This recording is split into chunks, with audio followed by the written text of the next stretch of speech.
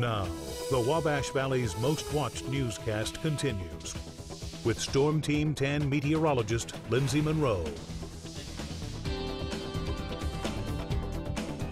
Well, good morning, everyone. Still dealing with some high flood waters out there. That's why the National Weather Service still has this flood warning in effect for a good portion of the Wabash Valley. Some rivers in excess of three to eight feet over the flood stage. Just keep this in mind. But the good news is we are slowly starting to see that water recede, expected for flooding to come to an end by tomorrow night, mainly due in part to the very cold temperatures that we've had, expecting that flooding to become less of a concern as we head through the end of the week. So as far as what we have out there right now. The Storm Team 10 Fury quiet, no new rain falling, and that is good news for those of you who have been dealing with the floodwaters along the banks of those rivers during this entire past week. Outside right now, we're sitting at 26 degrees with a cloudy sky.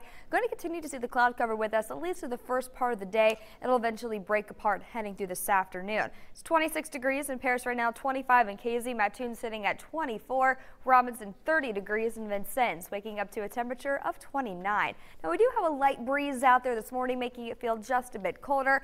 Wind chill temperatures nowhere near as cold as what we've been so far this week, but it still feels like 18 in Mattoon, a wind chill temperature of 26 in Paris and here in Terre Haute.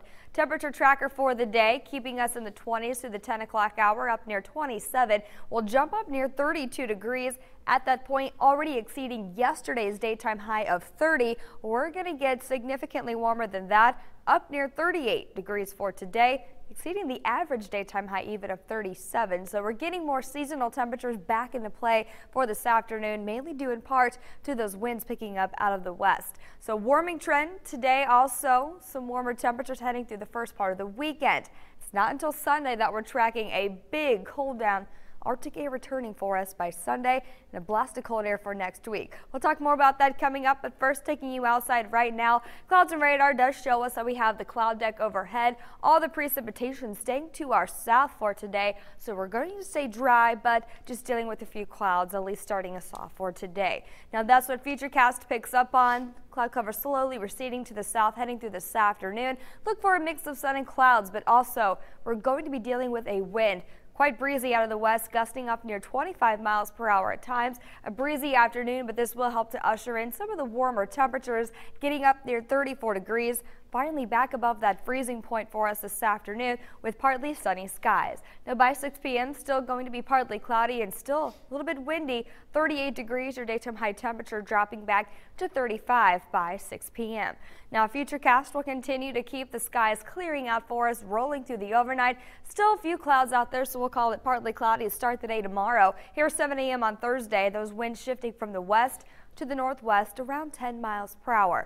Temperature starting off in the mid 20s and a little bit cooler tomorrow with the influence of those winds coming in out of the north up to 15 miles per hour. Still looking for a partly cloudy afternoon. Temperatures topping out in the mid 30s. So a little bit cooler tomorrow as opposed to what we're seeing for today. In fact, temperature tracker for the next six days really warms us up by Friday into Saturday. Highs near 42 degrees and 44 starting off our weekend, but heading through the end of our weekend, check out this big temperature drop with highs only near 29 degrees Sunday, 24 on Monday, getting well below that average of 37 as we head through the first part of next week. For today, though, a little bit warmer out there. We'll do 38 degrees with a mix of sun and clouds. Also, keep in mind it will be a bit of a breezy day. Winds gusting out of the west up to 25 miles per hour. Partly cloudy and chilly tonight, dropping back to 24. Rebounding to 34 tomorrow with a partly cloudy sky and a cold wind out of the north. We'll do sunshine, a little bit warmer for your Friday.